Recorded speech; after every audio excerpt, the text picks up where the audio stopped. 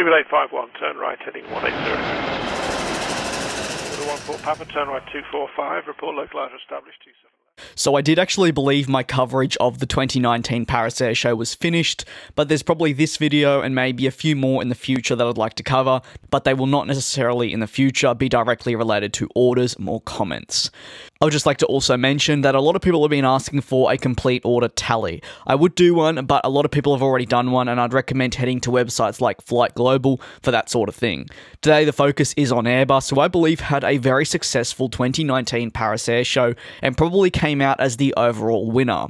When running a poll on my Twitter as to what manufacturer had the best air show, it would also appear that many of you believed Airbus had the best show as well. So, Airbus released a great press release covering their air show at a glance and I thought I'd take a look at it with you all today.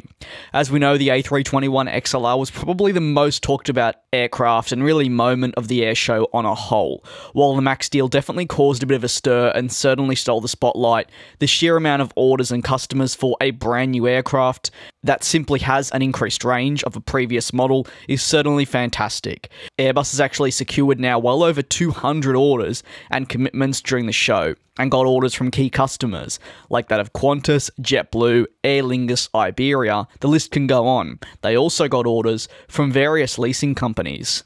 However, the A321 XLR wasn't just the only highlight. Airbus managed to also secure major upsizings of existing orders with customers. If you've been following my coverage, you may just know what I'm talking about.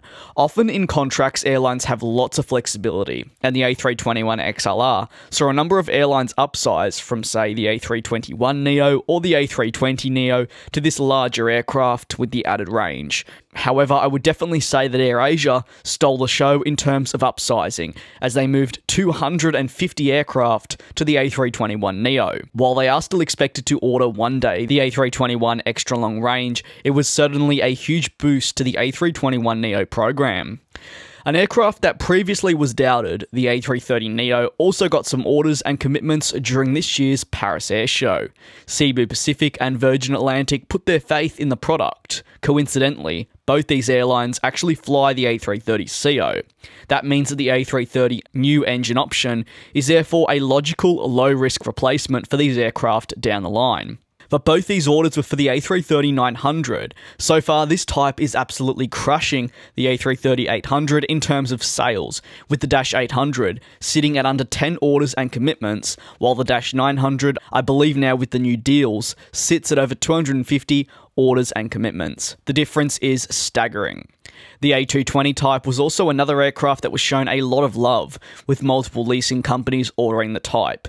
Yesterday alone, we saw JetBlue order an additional 10 and also firm up its orders for it. We saw Delta a few days prior to this order an additional 5 A220 100s. Of course, that's the smaller and more stubbier variant.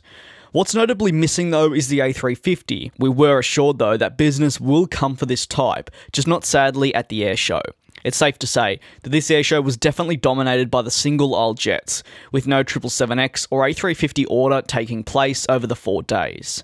With Farnborough, almost right around the corner. I think we are all eagerly awaiting what's next and also what airlines are going to be ordering the A350 as promised by board members at Airbus.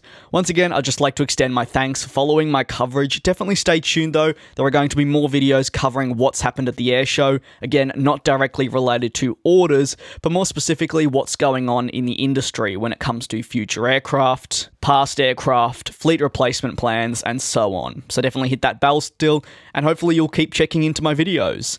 Thank you very much, and I look forward to you all joining me in the next one.